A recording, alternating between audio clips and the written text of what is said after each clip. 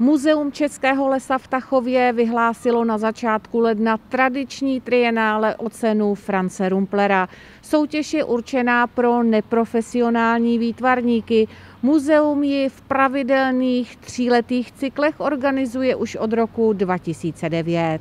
Protože my dáváme výstavní příležitost neprofesionálním výtvarníkům a tady jim dáváme příležitost jít z kůží na trh a předložit svoje práce odborné porotě, a vlastně posoudit se ve svém výtvarném projevu eh, s ostatními neprofesionály.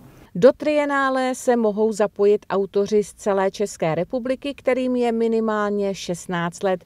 Vypsány jsou kategorie malba, kresba a grafika. V minulosti bývala nejvíc zastoupená kresba. A bývá tam i veliká konkurence. Nejslabší to bývá s tou grafikou, protože tu každý nedělá, ale zase tam bývají velmi kvalitní práce.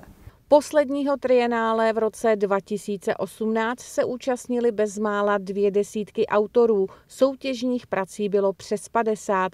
V roce 2012 bylo výtvarníků dokonce 30, prací pak přes 80. Samozřejmě ty první ročníky to byly lidi z Tachova, z regionu, eh, je tady několik združení, ale měli jsme tam velmi brzy i Mariánsko-Lázeňský, který mají taky združení.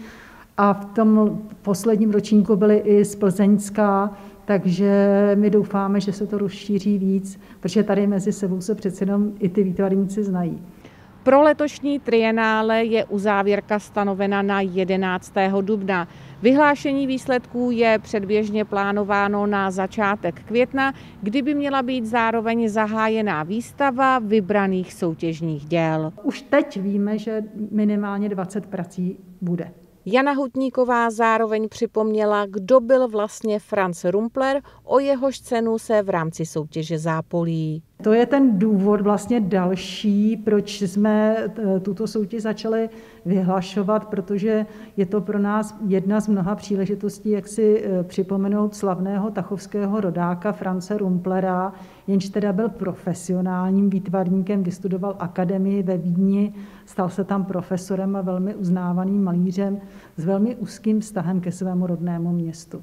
Jedna z jeho mnoha prací je například k vidění v expozici Tachovského zámku. A pak samozřejmě všichni, kteří byli někdy eh, v klášterním kostele svaté Máří Magdaleny, znají hlavní oltářní obraz, který je také jeho dílem. Jméno slavného malíře dostala před časem dokonce i jedna z nově vzniklých ulic v našem městě. Doplňme ještě, že veškeré informace k letošnímu trienále o cenu France Rumplera, včetně přihlášky, najdou případní zájemci na webových stránkách Muzea Českého lesa. To je v návaznosti na vládní opatření pro veřejnost bohužel stále uzavřené.